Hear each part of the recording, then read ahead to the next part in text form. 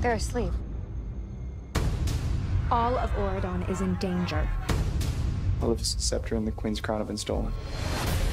The sleeping spell spreads throughout Auradon. We're trying to discover which villain has perpetrated this evil. I know how villains think. We are very short on time.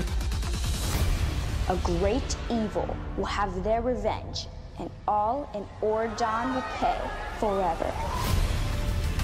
Every time we open the barrier, we're exposed to danger. He was draining all of my magic when I felt my power slipping away. The only thing more powerful than the scepter No! is Hades' Ember.